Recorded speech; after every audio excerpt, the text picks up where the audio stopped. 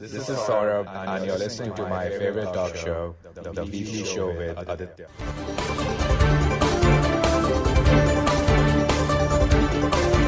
The various sporting leagues around the world have had a twofold purpose. On one hand, they are a livelihood for the stakeholders involved, the athletes, the governing bodies, the ground staff, the referees and the various match officials, the sponsors, many other different stakeholders involved in the conduct of a sports match.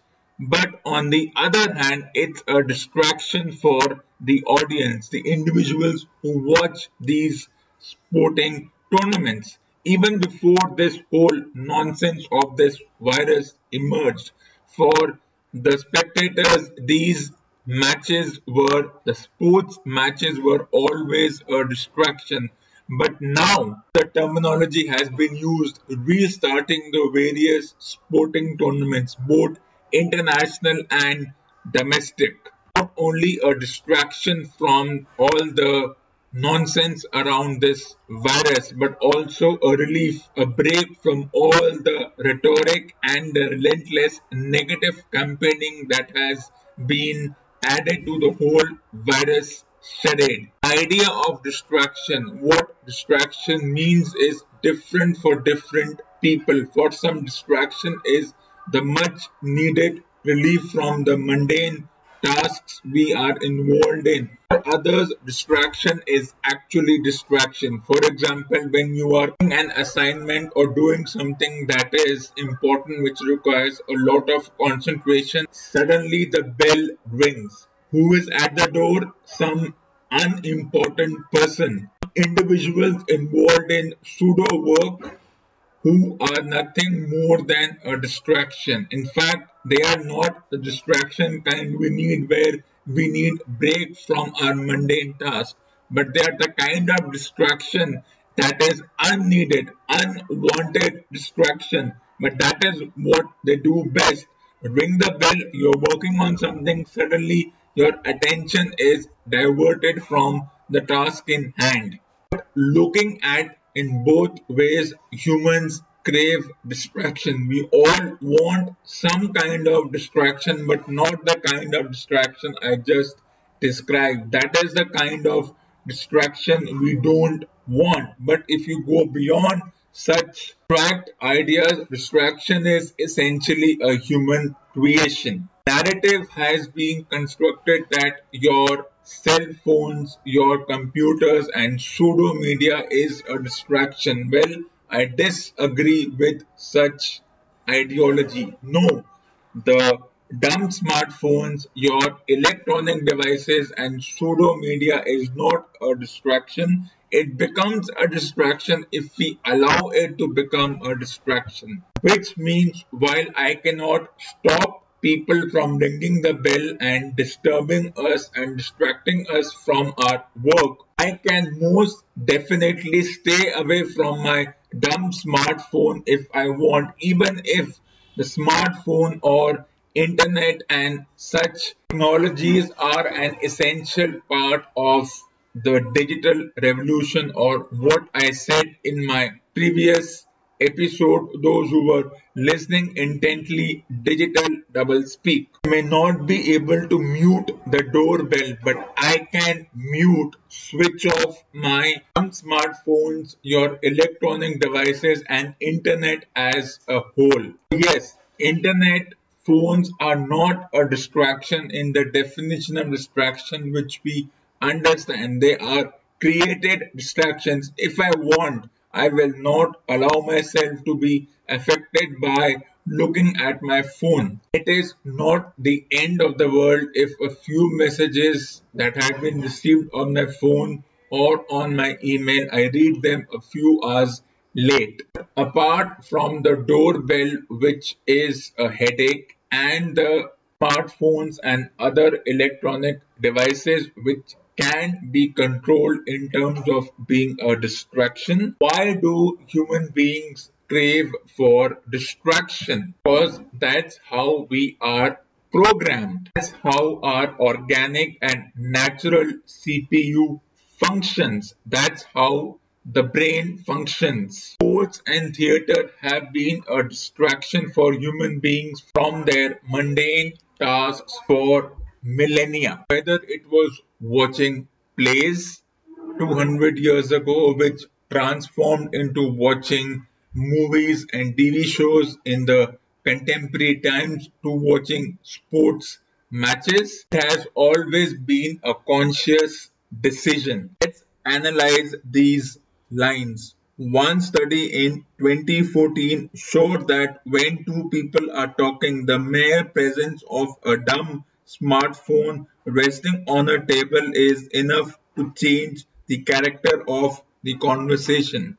This is a subjective analysis because if I am one of those two people and even if a mobile phone is on the table, will it distract me? No, it will not. This analysis is also not true for everyone. It's a very small sample size which has been taken to analyze this. Distraction is your brain ducking challenging feelings such as boredom, loneliness, insecurity, fatigue, and uncertainty. Once again, it's subjective. Yes, humans by nature are bored. If by nature humans weren't bored then we would call ourselves artificial and superficial beings. Loneliness, well, that's subjective again. One individual's distraction is other individual's extracurricular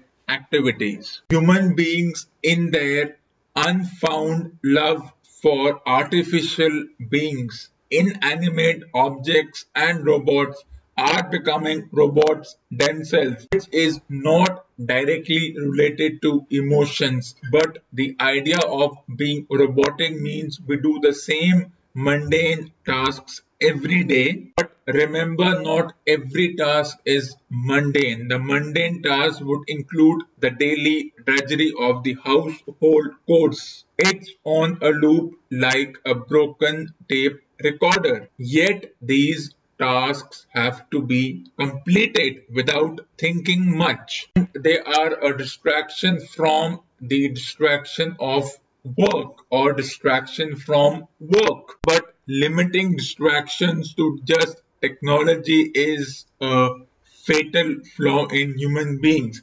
Technology is not a distraction. We make technology a form of distraction. Not the end of the world if you don't have a thousand apps on your phone. It's not compulsory to have a thousand apps on your phone. In fact, the ringing of the doorbell is a bigger distraction than any distraction ever created. This ringing is part of the mundane tasks we have created for ourselves. In fact, if the bell didn't ring, impression that would be created in our minds is that nothing is happening. The day is not moving. While on one hand, humans crave for distractions like entertainment and sport, distraction is equally subjective. And how does an individual circumvent the distraction? Well, that is subjective and relative to each and every individual. There is no universal solution to craving distractions.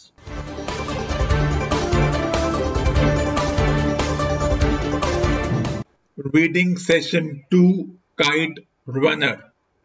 Upstairs was my bedroom, Baba's bedroom and his study, also known as the smoking room, which perpetually smelled of tobacco and cinnamon. Baba and his friends reclined on black leather chairs there after Ali had served dinner. They stuffed their pipes except Baba always called it fattening the pipe and discussed their favorite three topics politics, business, soccer. Sometimes I asked Baba if I could sit with them, but Baba would stand in the doorway. Go on now, he'd say. This is grown ups' time. Why don't you go read one of those books of yours? He'd close the door, leave me to wonder why it was always grown ups' time with him. I'd sit by the door, knees drawn up to my chest. Sometimes I sat there for an hour, sometimes two, listening to their laughter, their chatter. The living room downstairs had a curved wall with custom built cabinets. Inside sat framed family pictures, an old grainy photo of my grandfather and King Nadir Shah taken in 1931, two years before the king's assassination. They are standing over a dead deer dressed in knee-high boots rifles slung over their shoulders. There was a picture of my parents' wedding night, Baba dashing in his black suit, and my mother, a smiling young princess in white.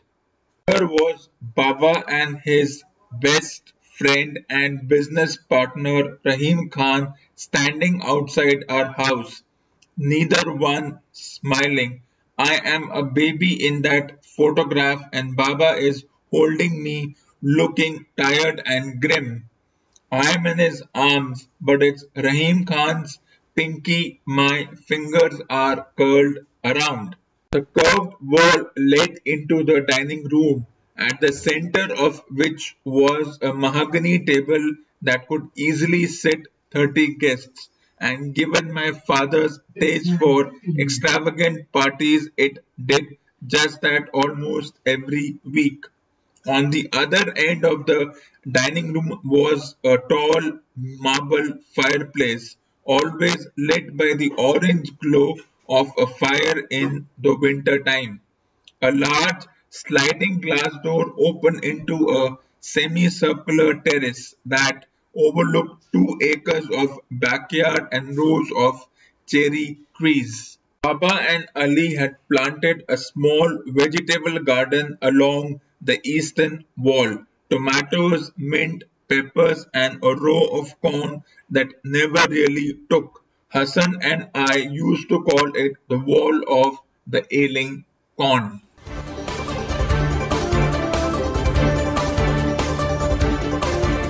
feeding session to labors of Hercules. Both ladies seemed relieved by the magic word. Poirot went on. You have the letter? Lady Hoggin shook her head. No, I was instructed to enclose it with the money. And you did so? Yes, hmm, that is a pity. Miss Carnaby said brightly, but I have the dog lead still. Shall I get it? She left the room. Hercule Poirot profited by her absence to ask a few pertinent questions. Amy Carnaby. Oh, she's quite all right. A good soul, though foolish, of course. I've had several companions and have all been complete fools. But Amy was devoted to Shan Tung and she was terribly upset over the whole thing, as well as she might be hanging over perambulators and neglecting my little sweetheart. These old maids are all the same, idiotic over babies. No, I'm quite sure she had nothing whatever to do with it. It does not seem likely, Poirot agreed, but as the dog disappeared when in her charge, one must make quite certain of her honesty. She has been with you long, nearly a year. I had excellent references with her. She was with old lady Hartingfield until she died. Ten years, I believe. After that, she looked after an invalid sister for a while. She really is an excellent creature, but a complete fool as I said. Amy Carnaby returned at this minute, slightly more out of breath, and produced the cut dog lead, which she handed to Poirot with the utmost solemnity, looking at him with hopeful expectancy. Poirot surveyed it carefully. May we, he said, this has undoubtedly been cut. The two women waited expectantly. He said, I will keep this. Suddenly he put it in his pocket. The two women breathed a sigh of relief. He had clearly done what was expected of him. It was the habit of Hercule Poirot to leave nothing untested. Though on the face of it, it seemed unlikely that Miss Carnaby was anything but the foolish and rather muddle-headed woman that she appeared to be. Poirot nevertheless managed to interview a somewhat forbidding lady who was the niece of the late Lady Hartingfield.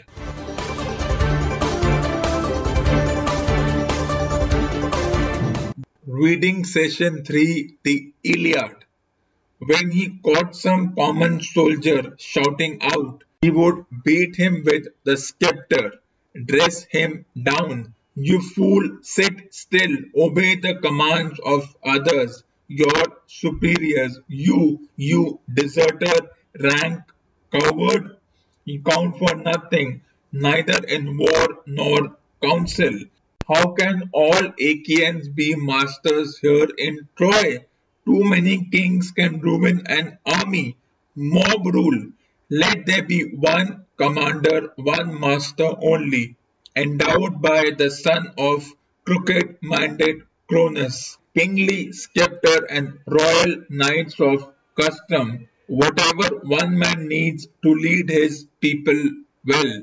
He ranged the ranks, commanding men to order and back again they surge from ships and shelters back to the meeting grounds with a deep pounding din, thundering out as battle lines of breakers crash and drag along some endless beach and the rough sea rose. The armies took their seats, marshaled into ranks, but one man, Thersites, still railed on non-stop. His head was full of obscenities, teeming with rant, all for no good reason, insubordinate, baiting the kings, anything to provoke some laughter from the troops. Here was the ugliest man who ever came to Troy. Bandy-legged he was, with one foot clubbed, both shoulders humped together curving over his caved-in chest and bobbing over them, his skull warped to a point, sprouting clumps of scraggly woolly hair. Achilles despised him most, Odysseus too. He was always abusing both chiefs, but now he went for majestic Agamemnon, hollering out, taunting the king with strings of cutting insults. The Achaeans were furious with him, deeply offended, but he kept shouting at Agamemnon, spewing his abuse, still moaning and groaning mighty entreaties. Why now? What are you panting after now? Your shelters packed with lion shares of bronze, plenty of women too crowding your lodges, best of the lot, the beauties we hand you first whenever we take some stronghold, or still more gold you are wanting, more ransom a son of the stallion breaking Trojans might just fetch from Troy. Though I or another hero drags him back in chains, or a young woman, is it to spread and couple to bed down for yourself apart from all the troops? How shameful for you, the high and mighty commander, to lead the sons of Achaea into bloody slaughter? Sons, no, my soft friends, wretched excuses. Women, not men of Achaea, whom we go in our ships, abandon him here in Troy to wallow in all his prizes. He'll see if the likes of us have propped him or not. Look, now it's Achilles, a greater man he disgraces, seizes and keeps his prize, tears her away himself, but no gall in Achilles, Achilles lets it go. If not, Atrides that outrage would have been your last.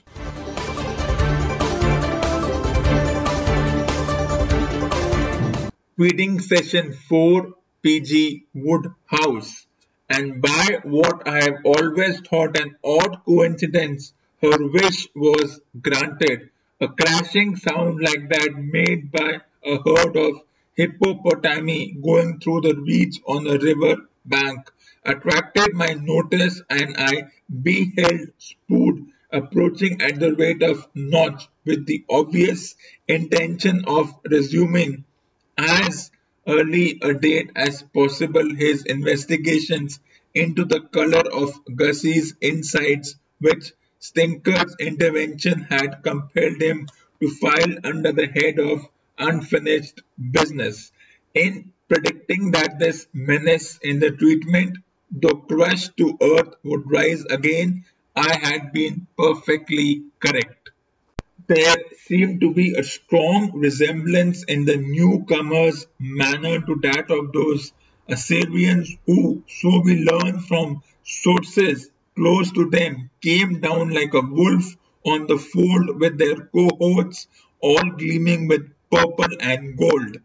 He could have walked straight into their camp and then they would have laid down the red carpet for him, recognizing him instantly as one of the boys. But where the Assyrians had had the bulge on him was that they weren't going to find in the fold a motherly young woman with strong wrist and a basin in her hands.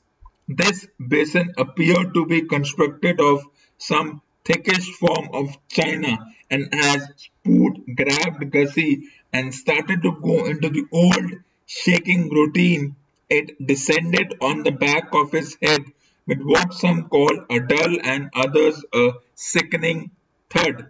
It broke into several fragments, but by that time its mission had been accomplished. His powers of resistance sapped no doubt by his recent encounter with the Reverend H. P. Pinker. Spode fell to earth he knew not where and lay there looking peaceful. I remember thinking at the time that this was not his lucky day and it just showed. I thought that it's always a mistake to be a louse in human shape as he had been from birth because sooner or later retribution is bound to overtake you. As I recall Jeeves putting it once, the mills of God grind slowly, but they grind exceeding small, or words to that effect. For a space, Emerald Stoker stood, surveying her handiwork with a satisfied smile on her face, and I didn't blame her for looking a bit smug for she had unquestionably fought the good fight. Then, suddenly, with a quick oh golly, she was off like a nymph surprised while bathing, and a moment later, I understood what had caused this mobility. She had seen Madeline Bassett approaching, and no cook likes to have to explain to her employer why she has been bonneting her employer's guests with china basins.